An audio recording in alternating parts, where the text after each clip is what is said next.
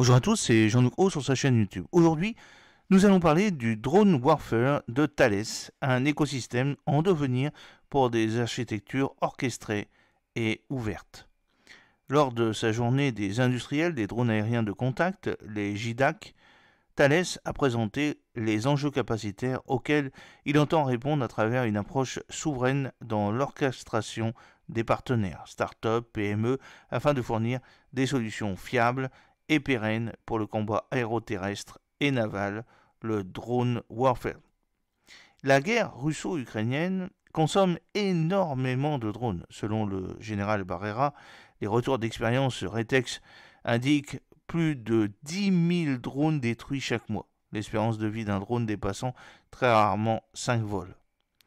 Pour pouvoir fournir les armées dans une telle perspective de retour des conflits de haute intensité, les industriels doivent pouvoir fournir des drones rustiques, produits en masse, peu coûteux, comprenant un juste niveau de briques technologiques, connectivité optronique, liaison de données pour contrer les brouillages et intégrer de l'intelligence artificielle pour pouvoir naviguer sans GPS, désigner des cibles prioritaires tout en restant autonome.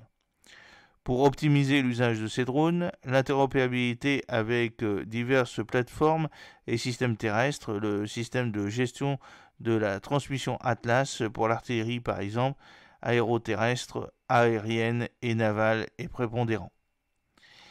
Alors, vous avez euh, par exemple euh, sur la petite une photo de cette vidéo une charge létale de 300 grammes de la tête militaire du MTO Toutatis produite par Thales à la Fierté Saint-Aubin. Drone Warfare euh, se veut un label de performance reposant sur la symbolique otanienne, pouvant identifier des technologies cohérentes, adaptables et innovantes et misant sur l'agilité des startups et des PME coordonnées par un groupe industriel Thales, assurant l'intégration, la production et la vente dans un marché de plus en plus concurrentiel. C'est également un gage de sécurité concernant l'intégration de matériel sensible comme les charges létales sur des systèmes nécessitant l'utilisation de sites hautement sécurisés comme celui de la Ferté-Saint-Aubin qui produit la tête militaire de 1 kg dont 300 g d'explosifs. De la munition téléopérée MTO Toutatis développée par Aeromapper, société créée en 2012, désormais filiale de Thales, euh, la tête militaire est sécurisée par un dispositif de sécurité et d'armement numérique à double sécurité. Une charge creuse est à l'étude pour la destruction des blindés lourds.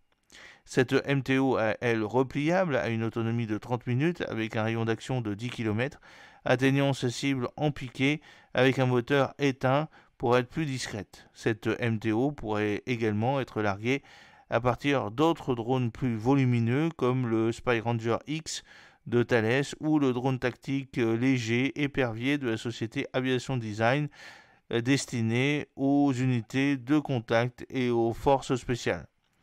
Une jeune entreprise prometteuse, ARX System, propose des plateformes volantes dotées de propulsion omnidirectionnelle, possédant des performances nouvelles comme le vol sur la tranche inversée, une très grande stabilité et résistance au vent, tout en étant capable d'une extrême manœuvrabilité.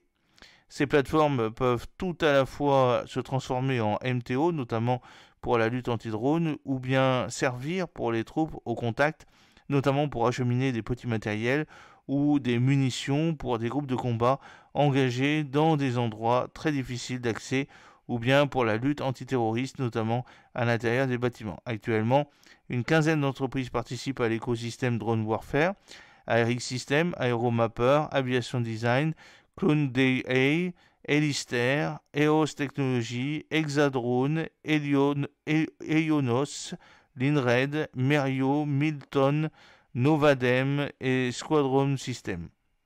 C'est une idée serait peut-être d'inclure également dans l'écosystème Drone Warfare des régiments pour des échanges directs, des productions futures réalisées par eux, répondant rapidement à leurs besoins et permettre une meilleure maîtrise opérationnelle des plateformes par les télépilotes sur les théâtres d'opération.